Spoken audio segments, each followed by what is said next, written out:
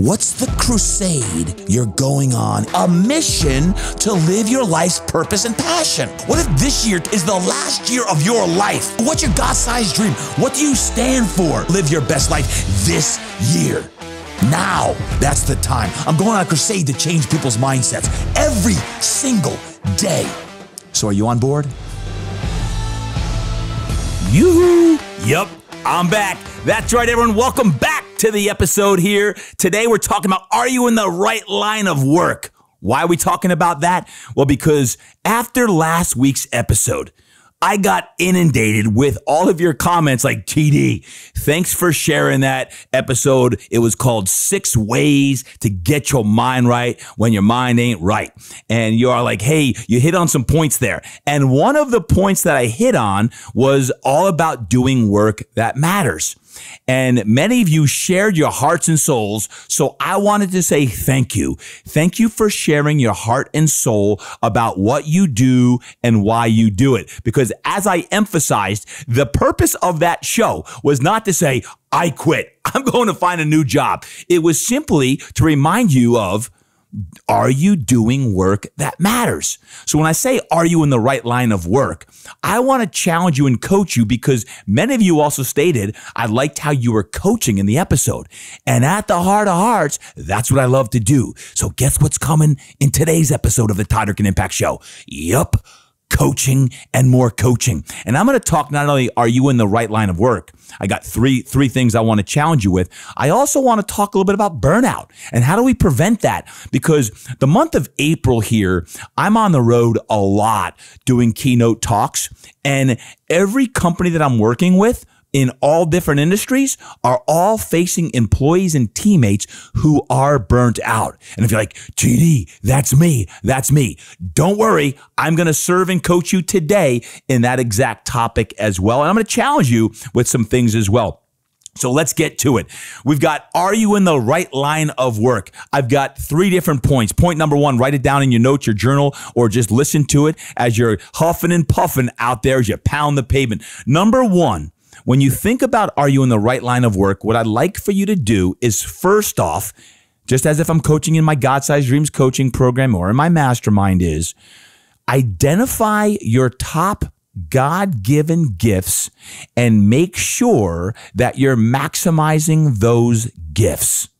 So identify those gifts. What are they? What are your top God given gifts? Now, when you think about that, you probably have two or three that pop to the top. Like whatever that is, what are the gifts that you have? Now, and as I wrote down some notes for today's episode, I would like to have a little bit of an outline and then just talk with you here in the episodes. Is some examples may be you're positive, or you're an encourager, or you're creative, or you're a leader, or you're you're you're humorous, you're funny, or your gift is patience, or your gift is you are a nurturer and you love to nurture people. Whatever your gifts are, write them down because what's important as you identify your gifts is you've got to make sure that you're saying yes to the roles within your job that allow you to exploit your gifts. Because if you're in a role in your JOB that you're not utilizing your gifts, then you're not going to tap into your core of who you truly are. So for me, when I was thinking about this, because this is what I coach on a on a daily basis with those whom I coach, not only here on the podcast, but formally, is energy. I think that's a gift that I have is is I certainly manifest that, but it is a gift. Positivity. Uh, I'm an optimist, so making sure that I'm tapping into that gift. Leader, caring and spirit. I wrote down five things for me that caring, I truly care about anyone who is listening to this right now from all corners of the planet, as we have folks from over 50 different countries listening into the Todd Impact show. And I love hearing from you. And spirit, not just from a faith standpoint, but spiritually.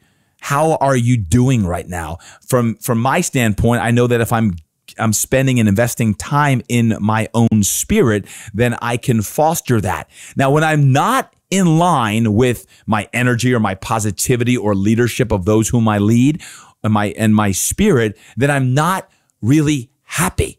and we all want to be happy, right? So point number one is this. When you identify your gifts, make sure you're saying yes to the roles within your job that allow you to really exploit those gifts. I know when I'm coaching and I'm leading, I'm at my best. So when I'm coaching up on stage, when I'm coaching here on the podcast, or I'm in one of my coaching programs and I'm working with someone, I'm using my God given talents. I want to make sure that you are using your God given talents and gifts, your skill sets that you've either been blessed with or have worked hard for. And if not, then your job is to change that. Number two, when it comes to are you in the right line of work or the right role within your work?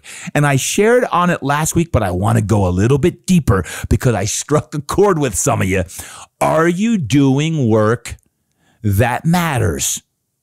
So let me ask you the question Have you ever been in a job that just doesn't matter? Like you're like this doesn't matter i i was thinking about the question as i pose it to you when i was in college i was a, i was a bouncer for a day. I had a job for a day. And I'm like, this just doesn't matter. There was a bunch of drunk people, and I'm like, all right, now I gotta go kick out a that's a that's a fact that none of you probably knew that I was a bouncer for a day. I'm like, this just doesn't fit my skill set. You're like, yeah, but it was it was it was a job in college. Okay, I, I was also a lifeguard. That mattered because if someone was drowning, I actually liked when we had to actually blow three whistles and jump in the Atlantic Ocean on the on the Jersey Shore Brick Beach number 1 and go and save lives. That job mattered. Even though I was only 20, 21 years old, it mattered. Being a bouncer for me didn't matter. Now, if that's your skill set, that's your gift, fantastic. For me, that didn't matter. Y'all are laughing like I can't picture TD as a bouncer. Yeah, me either. But uh, y'all y'all have probably had jobs too that you haven't uh, always always liked. The bottom line is whatever your skill sets, whatever your gifts, if they're not challenging you and the end result of your job doesn't matter to the level that you want based on your purpose, then you got to change that. You know, or maybe you've been in a role within your job that just hasn't fit you and you've lost some of your luster for the job. Maybe it's like, man, I don't really like my job. Well, maybe you need to speak with your your your superior, your boss, your leader and say, "Hey, can I take on a new role? Can I actually become the performance director and grow camps uh, within the gym? Or you're an accountant and you want to someday become a partner uh, at your law firm or your accounting firm. What do you need to do because you love the idea of being an entrepreneur and maybe you don't want to go start your own thing, or maybe you do, whatever. The bottom line is this is when you identify those gifts and then you say, I'm in line with that. Are you doing work that matters? How do you do that? You find a passion that you love doing it. When you marry your gifts, those gifts are divine, and you marry those those passions with your purpose, now all of a sudden that allows you to create impact where you feel like, hey, my work matters the most. So the question begs, what work matters most to you? When do you feel most fulfilled these days? Because I'm challenging you. I challenge you all year here in 2022. I'm going on a crusade to challenge you to live a life worth telling a story about, to tap into your deepest desires, passions, dreams, and purposes to make sure that you are doing work that matters. Because when you do work that matters, you feel fulfilled, you feel like you're giving back, and you're making a difference. Because this world today needs more difference makers. And that is you. And that's why you're listening today. So the question is when do you feel most complete? When do you feel most fulfilled? Now, if you're like, hey, most of the time I feel that great, but what if you don't? Have you ever been completely exhausted and exhilarated at the same time? Yes, I have too. Matter of fact, there's many days today when I'm like, after podcasting, um, I might feel exhausted tonight after a long day and I'm exhilarated. I'm like, I was doing God's work today because my passions, my skill sets, my gifts all aligned and it made a difference to millions of people, hopefully. Right? What is that? What is that for you when you have that, that commonality between exhaustion and exhilaration? And that's when you know you're doing your best work. When I think back and reflect and you think back and reflect, when were you doing your best work? WLWB, when life works best, what were you doing? When life was working best, what were you doing? And you must replicate that. when I reflect on that just a few years back, many of you have, have seen uh, the reality show that I did called Strong. I believe that is a time of my life, man, when I was filming strong, that was the feeling that I got that I was doing my best work. I was training and coaching. I had a platform where I could motivate and inspire millions of people. Now, the podcast hopefully serves as that platform as well. But when we reflect back on what what work mattered most, that was not a time of my life.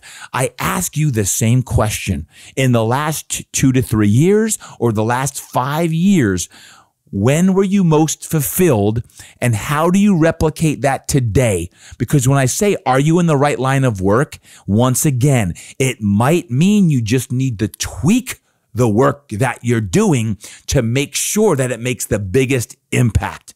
And the third aspect that I share today on are you in the right line of work in three ways. The third way is a question I have for you. Are you running to something or from something? Let me repeat that and think about it right now as you're walking, jogging, running. Maybe you just picked up the pace because I said, Are you running to something or are you running from something? Because it's very important today when you're looking for the juice and when you think about are you in the right line of work that you are running to something and not from something. Now, I've led many retreats in my lifetime 19 different mentorships, 24 mastermind retreats, and hundreds of different keynotes and different events that I've either hosted or been a part of.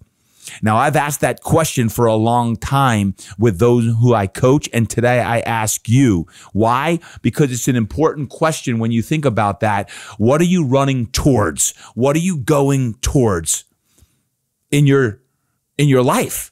Maybe you're running towards a degree right now. Maybe you're running towards a certification. Maybe there's a certain level within your career. There's even a certain financial goal that you have. You're running toward that, a certain pay grade, a certain rank in the military or a, level within your job. You're running toward that. Maybe you're running toward starting a business or perhaps you want to start uh, your own business and uh, you want to get to a certain level within that business. Maybe you want to sell your business. Maybe you want to bring a partner into your business. Maybe you want to write a book or you want to start a podcast. These are things are these are examples that you're running toward something. Maybe you want to get married personally. Maybe you want to get married or you want to become a parent or you're running towards becoming an empty nester. The fact of in five years, I'm going to be an empty nester. That's going to be another episode. I'm going to be full of tears. Let's not even go there before I start crying. My gosh, these kids are growing up way too fast. So I digress. But what stinks about when you're focused on something that you're running from? If you're running from something, there's a few reasons why we don't want to be in this state of mind. And I want to change the state to change your state today. I want to change your state to change your state today because if you're running from something instead of towards something, Here's what happens when you're running from something, the something that you're running from, it always seems to get bigger and bigger and bigger. And maybe that's, uh, uh, uh, it becomes a monster. It becomes a, something that starts to eat you up and provide more angst, anxiety, depression, fear, all of these things. Also, when you're running from something, you tend to look backwards more often. And that is not a good thing when you're constantly looking in the rearview mirror, when you're looking backwards. There's this story, y'all have probably heard it before. Roger Bannister, 1954 he broke the four minute mile and uh, it had not been broken to that point. After he broke it uh, there was dozens of people within a few years who once that once that record was broken people started breaking it right and left. But the reason why i share that is because there was another guy uh, named john landy i believe his name was john landy. And landy there's actually a statue of landy looking backwards at Bannister because when he looked back, when Landy looked back, guess who came flying by? Bannister. Because when you spend more of your time looking back, you're getting passed up. So, what I want you to do is I want to make sure that you're not spending your life looking back at past decisions, things that have happened to you. And I want to make sure that you spend more of your time looking forward because looking backward, running from something prevents you from looking forward. So if you're constantly looking back, NG, not good. So if that's you and you, you're living right now running from something, here's what I want you to do. I want you to ceremonialize the end of it. Does not not that today, like you're thinking about it. We're gonna ceremonialize the end of looking back at whatever's holding you back. Whatever level that is, big or small, whether it was as a kid, whether something happened in high school, college, later on, stop hold, letting it hold you back. And it's time to release those chains. Pick a date that is going to be over and celebrate it being over because you're ending it today. And you can look at the episode number and say, TD, Thank you. I needed to hear that. The ceremonializing of the end of what's holding me down and back because it's bogging me down. There's no more regret. There's no more resentment. There's no more disappointment. There's no more anxiety or whatever's eating you up on the inside because the angst and anxiety, depression that's holding you back is not worth it. We must release it today. No more looking back, wishing you could take it back. You can't. Nope. It's over today. We, we set that date in stone, and now it's time to get your eyes fixed forward and start hitting that four minute mile, whatever that means to you, to start running and start finding something that fires you up, that marries your passion and your purpose, because after all, you gotta do work that matters. I'm a little fired up, my friends. So, man, oh man, so let's let's let's just change the let's change the tone here for a second. You're fired up. You got these three three ways now. Are you in the right line of work? And I want to just spend time here on the second part of the show talking about something that could eat you up called burnout. Burnout. Because if you're burnt out, then you can't do these things or you're not as likely to do the three things I just shared with.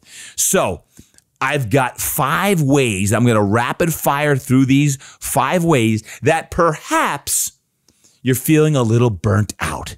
Anyone feeling that? Raise your hand as you're running. Oh, some of you just raised both hands. I saw you. I actually saw you raise both hands as you're running right now. And if you're driving, please don't release the wheel with two hands in the air. Uh, that would not be good. And you're like, what happened, officer? Well, TD told me to raise both my hands up and I lost control of the car. Here's how you prevent burnout Number one, I'm going to challenge you. Is it time to take a sabbatical? Is it time to take a sabbatical? Now, I'm not telling you today that I'm taking a sabbatical, so stop even thinking that. No, no, no, no. Not yet. Eh, not yet. But maybe you've been doing this for 10 years, 15 years, 20 plus years or more. Maybe you've got to take a short sabbatical because you're so burnt out that it's time for you to catch your breath and take a month off, three months off or six months off. I don't know. It depends on where you're at in your walk of life and your journey. But I know my wife, Melanie, she had a sabbatical as a professor. She's a professor at a community college here in San Diego. And many years ago, she had a sabbatical and it was really, really good for her career. Now, as a coach and a business owner and a gym owner, um, I have never had a sabbatical where I've taken that amount of time off. And I start with it because at some point over the next couple years, I'm going to go to the mountains. I'm going to take a sabbatical. I'm just going to do some podcasts because this ain't even work. This is fun stuff. But I challenge you to think about is it time? for a short sabbatical, a long sabbatical? Because if you're burnt out, it might be. The second aspect is this if you're feeling burnt out, please do not make any big decisions when you're in complete overwhelm or burnout mode.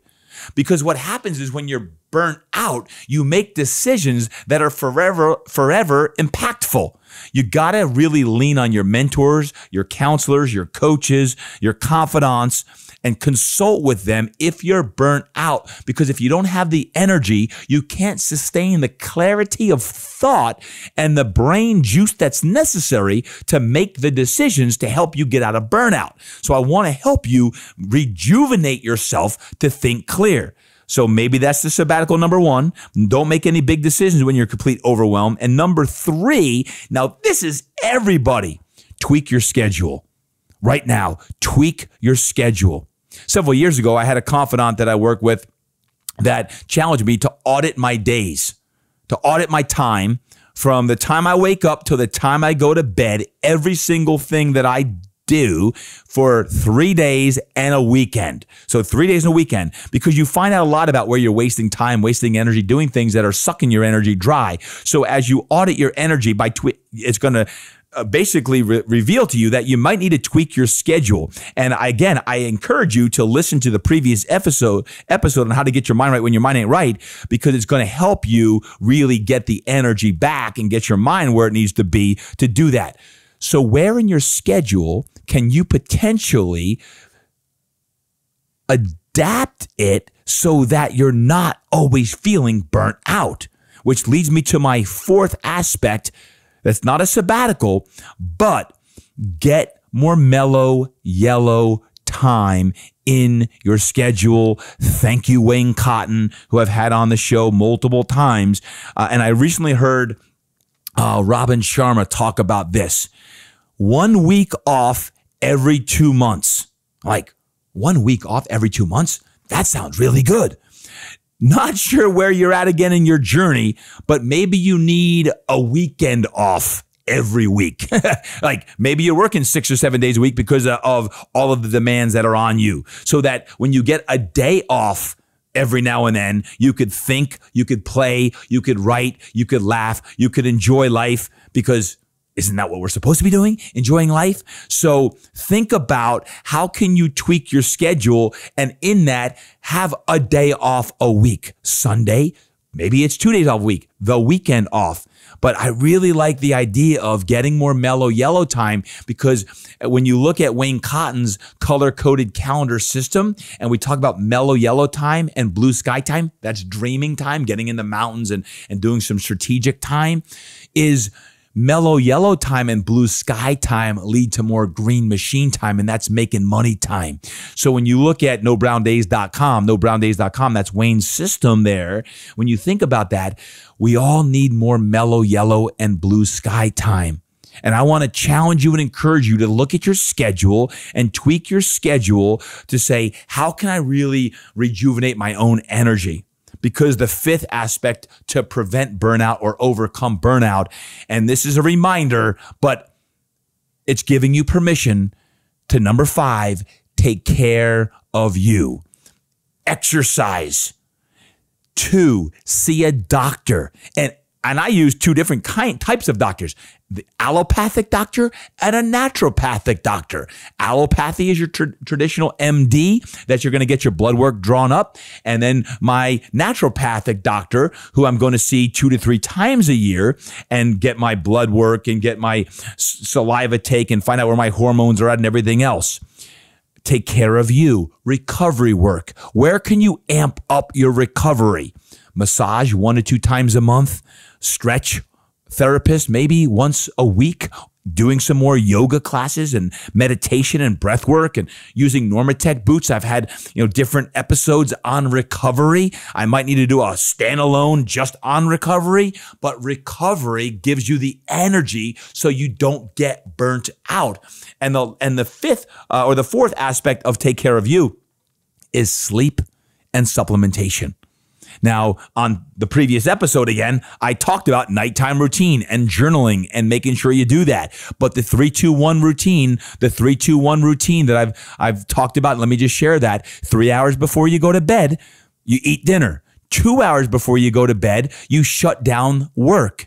And one hour before you go to sleep, it's all about you, baby. It's all about you taking care of yourself. And whether that means to you, you go in an infrared, infrared sauna, if you have one at the house or you don't, take a hot bath, stretch, breathe, pray, get quiet time, read a great book. And there's a lot of great books out there, or just simply relax But the sleep, if you're going to bed and you just got done working and you are on the computer and you're watching the news and everything that's happened over in the Ukraine, I can promise you your sleep isn't going to be the quality of sleep that you need to take care of you. So when you look at preventing burnout, it goes hand in hand with everything I just said on the three different aspects and three different ways of what you can do to make sure you're in the right line of work.